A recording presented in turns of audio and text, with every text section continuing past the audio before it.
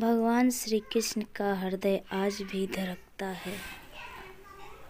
भगवान श्री कृष्ण ने जब देह छोड़ी तो उनका अंतिम संस्कार किया गया। उनका सारा शरीर तब तत्वों मिल गया, लेकिन उनका हृदय बिल्कुल सामान्य के ज़िंदा आदमी की तरह धड़कता रहा। और वो बिल्कुल सुरक्षित था। उनका हृदय आज तक सुरक्षित है जो भगवान जगन्नाथ की काट की मूर्ति के अंदर रहता है और उसी तरह रखता है। ये बात बहुत कम लोगों को पता है। महाप्रभु का महारहस्य सोने की झाड़ू से होती है सफ़ाई। महाप्रभु जगन्नाथ श्री कृष्ण को कलयुग का भगवान भी कहते हैं। पूरी उड़ीसा में जगन्नाथ स्वामी अपनी बहन सुभद्रा और भाई बलराम के साथ निवास करते मगर रहस्य ऐसे हैं कि आज तक कोई ना जान पाया। हर बारह साल में महाप्रभु की मूर्ति को बदला जाता है। उस समय पूरे, पूरी शहर में ब्लैक आउट किया जाता है। यानी पूरे शहर की लाइट बंद की जाती है। लाइट बंद होने के बाद मंदिर परिसर को सीआरपीएफ की सेना चारों तरफ़ से घेर लेती है। उस समय कोई भी मंदिर में नहीं जा सकता। मंदिर के अंदर घना अंधेरा रहता है। पुजारी की आँखों में पट्टी बंधी रहती होती है। पुजारी के हाथ में दस्ताने होते हैं। वो पुरानी मूर्ति से ब्रह्मा पदार्थ निकालता है और नई मूर्ति में डाल देता है। ये ब्रह्मा पदार्थ क्या है? आज तक किसी को नहीं पता। इसे आज तक किसी ने नहीं देखा। हज़ारों सालों में ये एक मूर्ति से दूसरी मूर्ति में ट्रांसफ़र किया जा रहा है। ये एक अलैगिक पदार्थ है जिसको छूने मात्र से किसी इंसान का जिस्म के चित्रे उड़ जाए। इस ब्रह्मा पदार्थ का संबंध भगवान श्री कृष्ण से है, मगर ये क्या है कोई नहीं जानता। भगवान जगन्नाथ और अन्य प्रतिमाएँ उसी साल बदली जाती है, जब साल में अषाढ़ के दो महीने आते हैं, उन्नीस साल बाद यह अवसर आया है। वैसे कभी कभी चौदह साल में भी ऐसा होता है। इस मौके को नौ क्लेवर कहते हैं।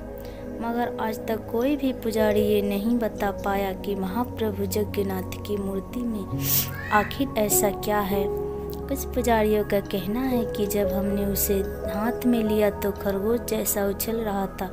आँखों में पट्टी थी, हाथ में दस्ताने थे तो हम सिर्फ़ महसूस कर पाए, आज भी हर साल जगन्नाथ यात्रा के उपलक्ष्य में सोने की झाड़ू से पूरी के राजा खुद झाड़ू लगाने आते हैं। भगवान जगन्नाथ के मंदिर में सिंह द्वार से पहला कदम अंदर रखते ही समुद्र की लहरों की आवाज़ अंदर सुनाई नहीं देती, जबकि आश्चर्य में डाल देने वाली बात यह है कि जैसे ही आप समुद्र से एक कदम बाहर रखेंगे, वैसे ही समुद्र की आवाज़ सुनाई देगी। आपने ज़्यादातर मंदिरों के शिखर पर पक्षी बैठे उड़ते देखे होंगे, लेकिन जगन्नाथ मंदिर के ऊपर से कोई पक्षी नहीं गुजरता। झंडा हमेशा हवा की उल्टी दिशा में लहराता है। दिन में किसी भी समय भगवान जगन्नाथ मंदिर के मुख्य शिखर की परछाई नहीं बनती।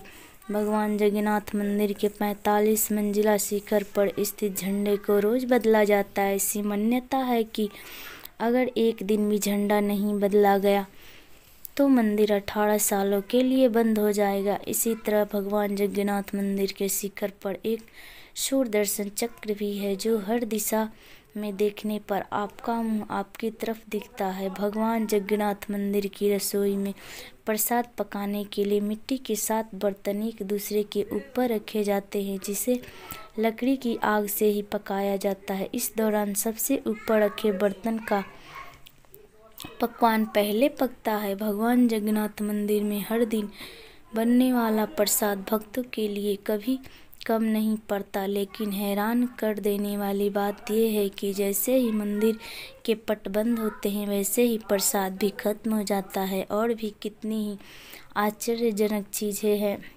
हमारे सनातन धर्म की, जय हो सनातन धर्म की। जी हाँ दोस्तों, हमारा सनातन धर्म बहुत ही प्रिय है।